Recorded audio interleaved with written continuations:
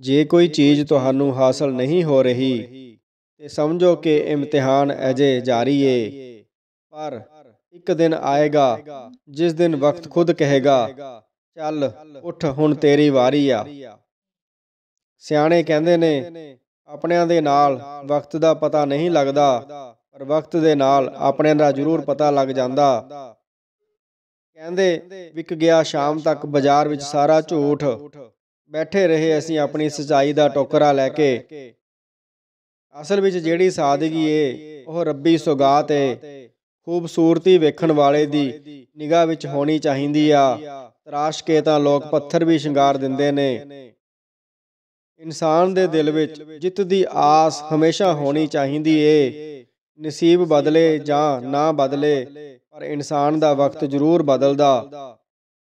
ਇਸ ਦੁਨੀਆ ਦੀ ਜਿਹੜੀ ਸਭ ਤੋਂ ਤਾਕਤਵਰ ਚੀਜ਼ ਏ, ਉਹ ਵਕਤ ਏ। ਜਿਹੋ ਜਿਹਾ ਵੀ ਹੋਵੇ ਲੰਘ ਜਾਂਦਾ, ਪਰ ਜੇ ਵਕਤ ਮਾੜਾ ਏ, ਤਾਂ ਪਰਵਾਹ ਨਾ ਕਰੋ, ਕਿਉਂਕਿ ਗੁਜ਼ਰ ਜਾਣਾ।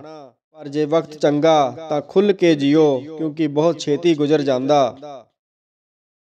ਰਿਸ਼ਤਿਆਂ ਦੀ ਸਭ ਤੋਂ ਖੂਬਸੂਰਤ ਗੱਲ ਹੀ ਉਹ ਏ, ਕਿ ਉਹਨਾਂ ਨੂੰ ਫ਼ਰਕ ਨਹੀਂ ਪੈਂਦਾ। ਤੁਹਾਡੀ ਕਾਮਯਾਬੀ ਜਾਂ ਨਾ ਕਾਮਯਾਬੀ ਦੇ ਨਾਲ ਤੇ ਜੇ ਫ਼ਰਕ ਪੈਣ ਲੱਗ ਜਾਏ ਤਾਂ ਉਹਨਾਂ ਨੂੰ ਰਿਸ਼ਤਿਆਂ ਦਾ ਨਾਮ ਦੇਣਾ ਬੰਦ ਕਰ ਦਿਓ।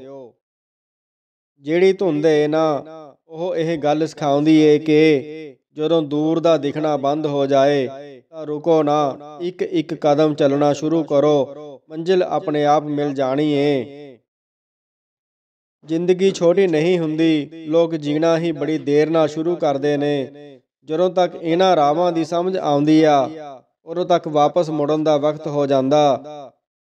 ਜ਼ਿੰਦਗੀ ਦਾ ਜਿਹੜਾ ਸਫ਼ਰ ਆ, ਉਹ ਕਦੇ ਵੀ ਆਸਾਨ ਨਹੀਂ ਹੁੰਦਾ। ਉਹਨੂੰ ਆਸਾਨ ਬਣਾਉਣਾ ਪੈਂਦਾ। ਸਬਰ ਕਰਕੇ, ਬਰਦਾਸ਼ਤ ਕਰਕੇ ਤੇ ਬਹੁਤ ਕੁਝ ਨਜ਼ਰ ਅੰਦਾਜ਼ ਕਰਕੇ।